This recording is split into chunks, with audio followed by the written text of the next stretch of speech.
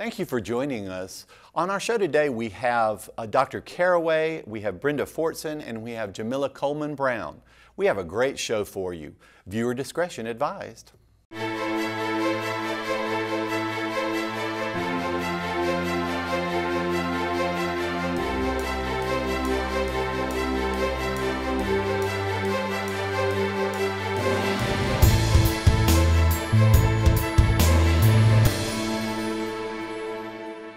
Hello, everyone. Today we have Dr. Brenda Fortson, uh, who has been at MCC. Now, how long have you been with us? 11 years. 11 years, and you are uh, you just got you finished your doctorate Last in year. education last year. So congratulations on that. Thank you. But you are uh, our single place, uh, single parent displaced homemaker counselor. Okay. Yes. Now, so what does that job entail? Well, actually, our most recent title is Support Service Coordinator. Pardon me. Pardon But me. I work with single parents and homemakers and really anybody else. Um, and so uh, my target group of people, single parents and homemakers, and those who are in career and technical programs. Okay. And so we provide uh, several services. Uh, Gina Mills is my coworker who also provides support services, and she takes care of students with disabilities. And um, my side of the house, I call it, is uh, doing things like a book loan service where we loan books to students who don't have financial aid that covers the cost of their books. Um, I don't have every single book for every course Sure. but um, I have a lot of books. And what a student can do is borrow the books from me, and as soon as the semester is over, he or she can return the books. We have a food pantry on campus. Um, that's available to any student or employee of MCC, and there's no um, qualification process or anything. There's no form to fill out. So if they just come to you and say, "I need, I need food," okay, Mm-hmm. And whether they- it's an employee or a student here, okay, They get food. All I need is the person's MCC ID because I keep up with how often we use the food pantry. okay, Um, and there are um, some other things that that I do. I tutor students who are learning to speak English. Okay. Um, ESL students. Um, I don't have a student this semester, uh, but I have in the past because that's sort of different from just taking your English course. You also teach uh, uh, Spanish, don't you? Mm-hmm. I believe, right? So you teach Spanish, all levels of Spanish, or Spanish? Usually just Spanish one or two, and it's usually online if we need to add some additional sections. Okay, and, you also teach uh, some of our English classes. Yes. Okay, If- so when you- needed. So uh, you know that, that I just wanted to point that out because if you're helping someone, you know, uh, with uh, speaking or you know writing English or learning English, you know, you're able to teach Spanish and you're able to teach the English as well separately. Yes. Okay, I'm sorry I interrupted. That's all right. Uh, I, I'm also a certified uh, ESL teacher as far as like K-12, you know, where you have certification and all that. So that's, that's another one of my areas. Um, and so another thing that I do is a little bit of counseling, Okay. but it is not for serious matters that are happening in your life kind of counseling. Right. It's um, lighter counseling where sometimes people just need somebody to talk to and they don't have maybe encouragement at home or good um, feedback in their peer group or whatever. And so Gina and I both do some counseling. And um, if students need more serious uh, counseling, if you know if they need a trained professional counselor, then we can provide them with information where students can receive that counseling for free. Right. Uh, but I'm just not qualified to be someone's um, mental health counselor. Right. I think if you're if you're a student, a full-time student here, you have a certain number of visits Yes. that you can use per semester to get counseling services if needed. Right, from a professional From a professional trained counselor. Because I remember hearing you talk about this, and you know, I came up immediately afterwards, and I, and I, I think I said something like, you know, hey, I, I, I listen to people too, but I just love gossip. but I'm the same way. I tell I still tell students, listen, Right. I will listen to you, but I'm not a counselor. You know, perhaps, and I had someone recently where I said, you know, this is above me. Uh, you know, Yes. I, I just feel completely unqualified to, to, you know, to help you with this. Right. And uh, so I said, I again pointed them in the right direction. Yes. I wanted to mention something about um, uh, Gina Mills. Now she does the the uh, we used to call it special populations, but Mm-hmm. it's now career and technical Support service support ser- coordinator. su- pardon me, support service coordinator. So you have to have a, do- a documented disability, and then services are available. Right. And so you have to uh, you talk to her, and so there's some paperwork to fill out. Mm-hmm. But then the services include uh, extended time to test, testing in a room by yourself, note takers, things like that. But you handle these uh, single parent displaced homemakers, and this is not just for women. Right, It is just single parent displaced Mm-hmm. homemakers, so it could be you know young men as well. right.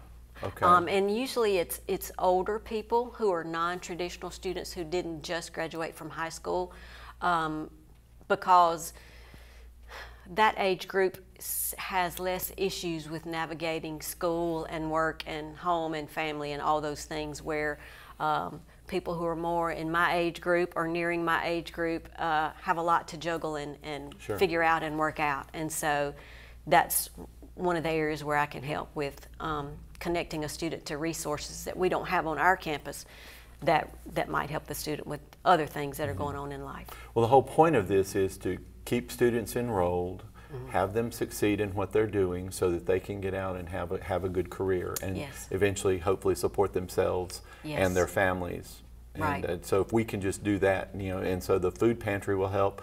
The book uh, uh, lending will help. Yes. Can you? Is there anything that you think of that that you've just noticed as far as uh, a need of students? You know, just you know, because we we constantly talk about well, how do we keep them? How do we keep them? How do we make sure they succeed? Uh, what are we doing? Are we doing you know enough? And I know you know you're talking to them, you're counseling them, you're helping them with stuff. We do it in you know in in the Success Center as well, where I work. But do you think of? Can you think of a need that you know? It, it sounds very small when I say it out loud, but encouragement is one thing. Um, and just help with uh, not really a, a full blown crisis situation, but a bump in the road. Um, Sure. A lot of times, students may have a situation arise. It could be that their car is broken down and they don't have transportation. And, and it could be many different things, but students will oftentimes go into panic mode and drop their courses and say, Well, I, I, my car is broken, I can't go to school, I have to drop out. Or my mother is sick, I have to take care of her, I have to drop my courses. Sure. And before they have time to think things through, they have withdrawn from their courses. And um, really, if they just had a few days and somebody to talk to about how to work that out, maybe they would stay enrolled and not go through all that. Because a lot of times we can help students and we can refer students um, to other agencies that can help where you might just maybe miss a day or 2 of courses you know, or it could be a situation where you can pick up some online courses. Sure. Because we have courses that begin in August, and then we have courses that begin, you know, later on in the semester. Yes. So if something really big happens, you you might still be able to be enrolled and complete the semester. I tell students all the time, some, you know, if you have situations, you know, especially if you're trying to get out of certain situations, you know, education is going to help you. That's the and thing. A lot of times that's the first thing they give up on. And you know, I, I tell them all the time, don't do that. Mm-hmm. Don't give up on this. Let's, you know, and, and you were saying uh, if they miss a day, sometimes if they miss a week, if you're keeping in touch with your, your instructor, if you're letting your instructor know what's what's going on, I truly don't know of any instructor on this campus who wouldn't work with a student. right. I don't either. I And, don't and know that's any. that's the big thing is to make sure to, to keep those uh, uh, lines of communication open. Mm-hmm. And I think with when you're encouraging your students, and I've seen you do it, I know you do. uh, when you encourage them and they they know that they can come to you. Mm-hmm.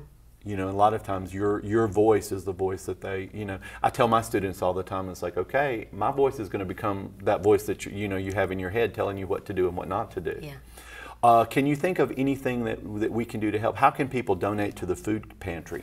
They can call me at 601 484 8836 um, and say, hey, we want to, my Sunday school class wants to donate to the pantry. Um, just call me and let me know, and I'll give you all the information. And um, or someone could email me at b as in Brenda b Fortson at m at meridiancc.edu. I don't know my own email address. Um, and also, if there's any student listening or any parent who wants to um, encourage your female non-traditional student to be part of a mentoring program. We have our first meeting tomorrow at 10 o'clock in the MCC Chapel Activity Room. Um, we've had the mentoring program before. Last year we didn't have enough students to follow through with the program, but we do have enough this year, but we have room for more. So if you're interested in having a mentoring partner, whether you want to be a mentor or a mentee, I love that. uh, you could call that number or email me or show up tomorrow to the chapel at 10 o'clock. Um, that's going to be our first meeting, and then we'll provide a lot of information and move on from there. Thank you so much, Dr. Fortson. Thank you. Uh, I hope you come back and see us again. I certainly will. We'll be right back. Here at MCC, I've done things I've never thought was possible, never imagined. I've had one-on-one experiences with my professors. They've all helped. There's so much to do. We have a good sports program, just a lot of things going on, and they, they care about students here. I honestly wouldn't trade my experience here for the world. I'm not close to being done yet, but I'm definitely on my way. I give all my thanks to Meridian Community College. Meridian Community College. Find your wings. And we are here with Miss Jamila uh, Coleman Brown, and you are adult basic education instructor at our uh, uh, ABE uh, center. Yes. So, uh, how's everything going over there? It's going well, going well. Y'all have a lot of students coming yes, in. uh-huh. We Have have, an overflow of students. Oh, always. have you had? Uh, have you started the new? Uh, uh, you, you're on a continuous. Yes, cycle, we are. We you? are um, year round, Okay. um, and so we are in our second term of the semester. Okay. Okay. But today we are talking about something else, something near and dear to are- my heart. We are talking about the um, our annual Martin Luther King commemorative celebration that will be held in January Okay. of 2020. Okay. And because we were on the same committee, you're, Yes. the, you're the head of the committee. But uh, on that day, on uh, in uh, January, it's January 15th, that's Mm-hmm. a Wednesday, uh, we'll have a guest speaker. Yes. Mm-hmm. And we'll have some refreshments. Uh, uh, and uh, uh, we also will be presenting, hopefully, some uh, awards. Yes, we um, we do always have student participation um, with um, an essay, but this year we're going to we're going to do a little bit different and have a creative project Okay. for the local schools and actually college to participate. And so um, we are just asking for um, the middle schools um, to to um, allow their students to participate in the creative project with either an essay, a poem a spoken word, rap, song, just whatever is creative. Okay. And we will open it up to um, the middle school, seventh, eighth grade, Okay. um, and the high school, ninth, tenth grade, eleventh, twelfth grade, and college. Okay, so we're going to have four sections. Yes, four Uh, Seventh, eighth grade, ninth, tenth grade. Yes. Eleventh, twelfth grade. Yes. College. And college. Okay, and so we're looking for, we we will be looking for first place, first place, second place, third place. What are we looking for? First place, second place, third place. Okay. And the um, first place winner will receive a monetary award. Okay. Um, second and third place will receive um, other awards also. Okay, okay. So, and they, we will tell, we will uh, uh, uh, tell the winners on uh, January 15th. on right? January the 15th. There is a deadline, however, um, uh, the first week of December Okay. um, for all of the projects to be turned in. Okay. And the winner will be announced um, so that they can participate and um, be present at our ceremony. Excellent. Mm-hmm. And we've had some good participation in the past. Yes, we have had great participation in the past from you know our local schools, um, Lamar, and as well as Rus- Russell Christian School, even St. Patrick, and our homeschool association. Okay. Um, and so this year we wanted to to get some college participation also. Excellent. Mm-hmm. Now, I, and I'm, I'm truly hoping that we have some, some very creative projects. Yes. Because we've said that, uh, and, and I'm, in fact, you know, full disclosure, I'm one of the ones that was pushing for this, Mm-hmm. you know, because I'm like, we read essays all the time. Let them do something. Yes, something And so we say, uh-huh. if you want to do a video, uh, one to two minutes, a short play, or Mm-hmm. you know, something, anything that that uh, uh, has to do with our particular theme. Right. And what is our particular theme for the year? Our theme is the reemergence of hope. Uh, we must um, accept infinite disappointment, but never lose infinite hope. And this was for Martin Luther King. Now, that last part, we must accept infinite disappointment but never lose infinite hope. Yes. Uh, so we're taking his quote and Exactly. we've, we've made it into the reemergence of hope. so they Reemergence have to do hope. something along those lines. Yes, something along those lines of, of the theme. Okay. Why do you think it's important for us to engage young people in uh, uh, our program or in Dr. King's uh, lessons? Yes, the legacy of Dr. Martin Luther King just lives on, and it's so important for our youth today to know um, of his his legacy and and all that he stood for. Mm-hmm. and hopefully we can continue, you know, and, and we're hoping, let's say we've had good participation in the past, but we're hoping for even greater participation Yes. with this. And, and how much did you say it was, uh, the first prize is? The first prize is a fifty dollar fifty dollar um, award. Okay, okay. And uh, uh, we're hoping to have a good, a, a good speaker. Uh, Yes. We've, we've talked about some of that. But do, can you think of anything else that we can do to outreach into the community to help, you know, get the word out? You know? We have always had great community support um, from our community leaders just down to the citizens of Meridian. And we just encourage everyone to come out and support Meridian Community College, but as well as the students, the young people who, who are, um, we would like to showcase on that day. And they, as I said, we, uh, we've, I, I get to read a lot of these essays and, Yes. and help with that, and they're just absolutely amazing. Can anyone come to our program on January 15th? Yes, everyone is welcome. We welcome the community, our community leaders, even our, our area schools, um, student participation. We just welcome everyone.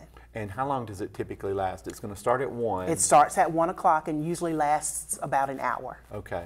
So you think we're going to have millions of people there this year? I hope it's millions.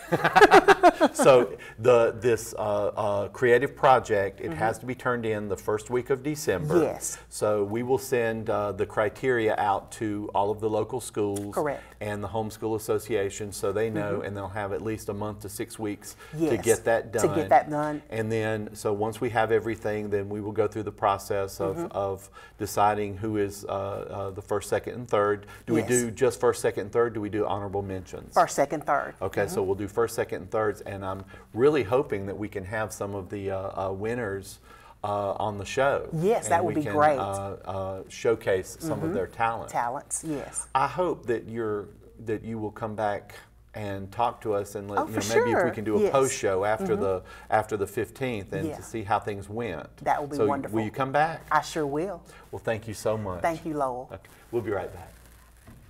Meridian Community College Arts and Letters Series is proud to present Annie Jr. The show begins Saturday, November 2nd and goes through Sunday, November 3rd in the McCain Theater. For tickets, visit our Eagles Nest bookstore or call 601 518 3502.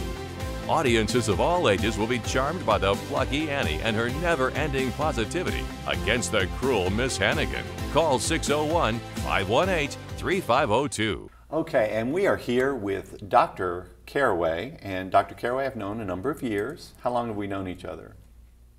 Over 20. I think so. Now, what do you teach here at Meridian I Community teach College? chemistry. Chemistry, okay. Yes. And I think you actually left a class to come here this morning. I did. Okay, were the students Yeah. upset? Uh, they were they were devastated. And you're also devastated. because I, I usually get to campus pretty early, but you have always even beat me getting here in the morning. Really? sometimes. Yes, I think Would you do. please tell the dean? I shall. Okay, I, I, I okay. immediately afterwards. Uh, but today we wanted to talk about some exciting news, something that we've been doing for a while now. That is, uh, yeah, I am very, very excited about, and it is our connection to NASA. Yes. Right. Okay. And Yes. what is that connection? What are we doing? Well, we have several connections Okay. to NASA for Can many years. me on the, like, you know, the space station? Uh, right.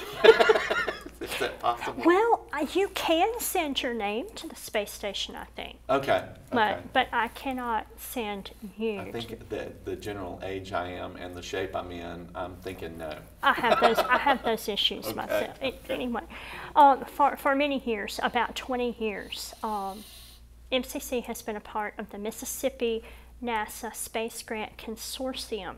Okay. Dr. Kathy Baxter took advantage of that opportunity many years ago. Yes, she did.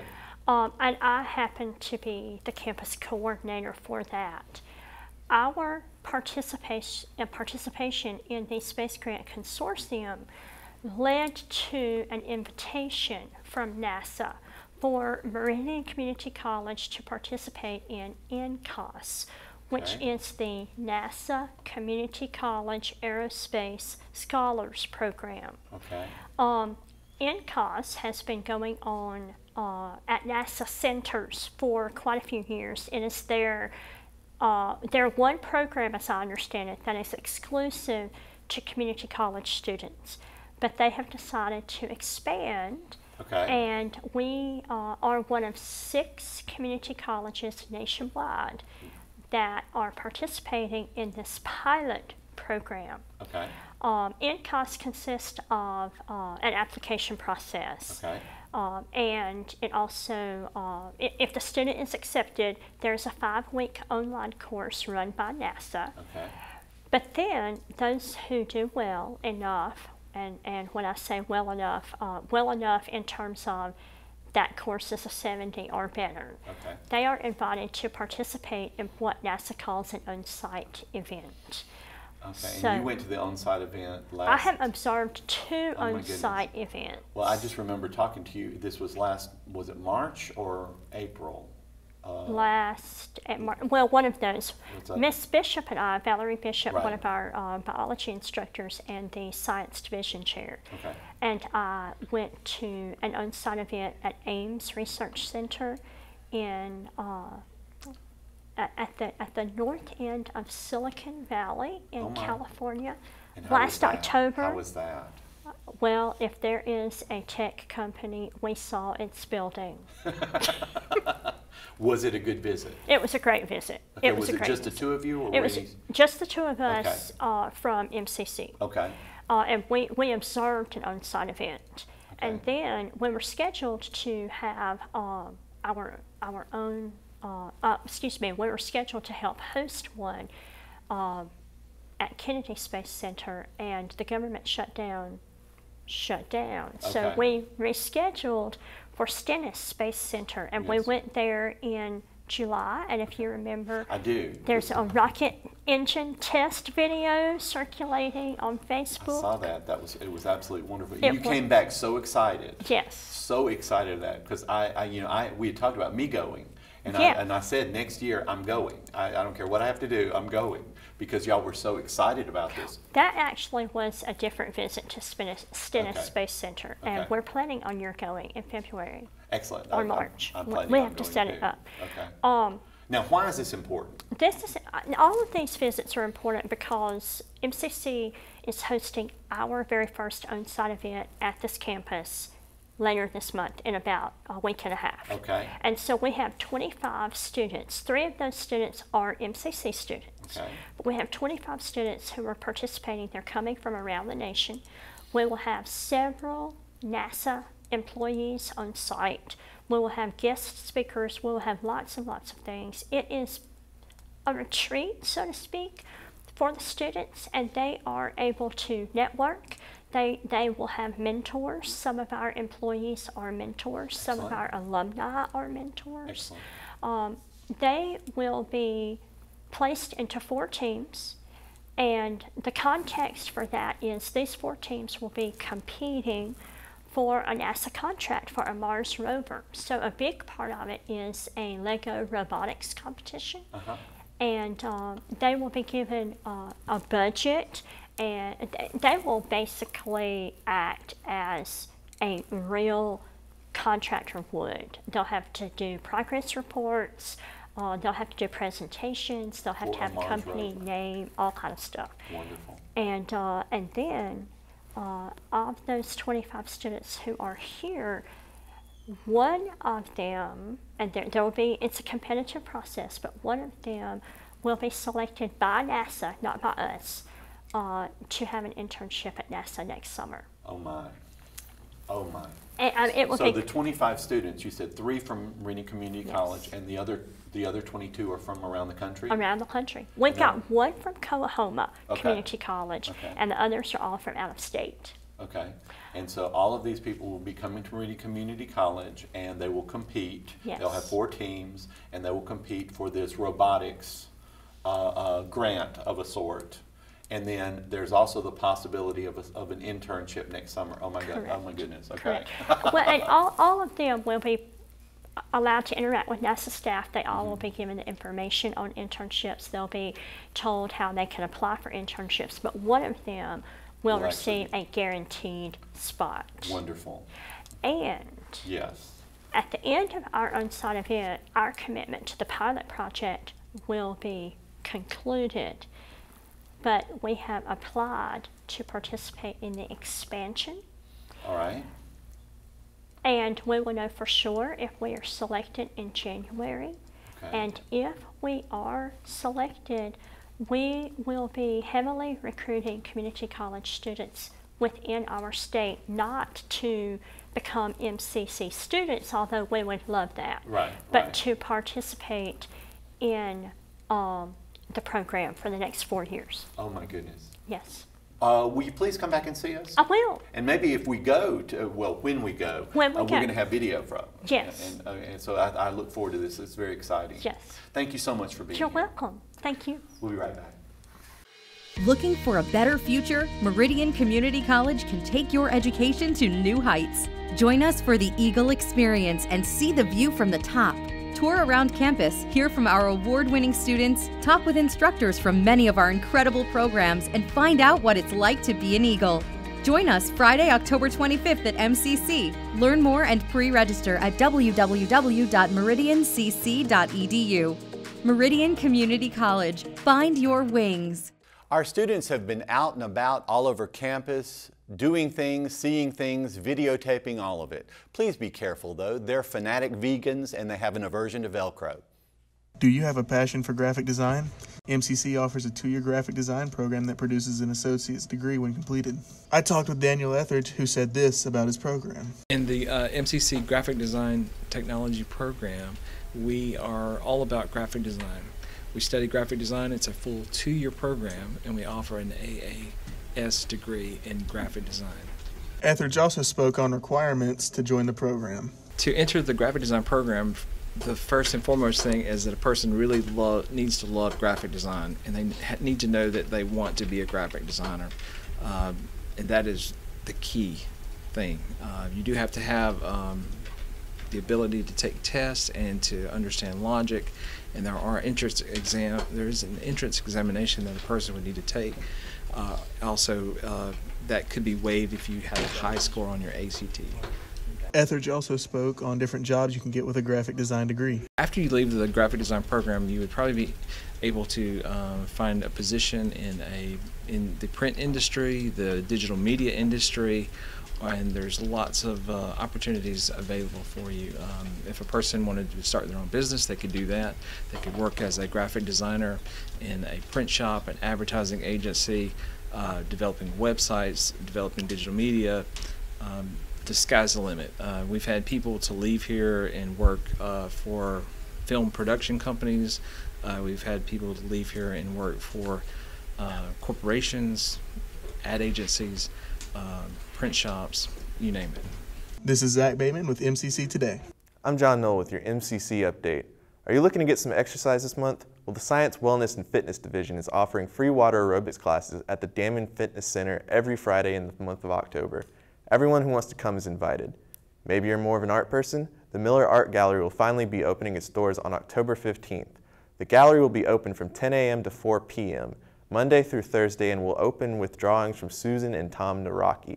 And finally, mark your calendars, MCC's Veterans Day is coming soon. The program starts on November 7th at 11 a.m. and will be held at the Graham Gymnasium. The program pays tribute to our nation's veterans and their contributions to the country. Anyone is welcome to attend. Thanks for joining me on your MCC update. I'm John Knoll.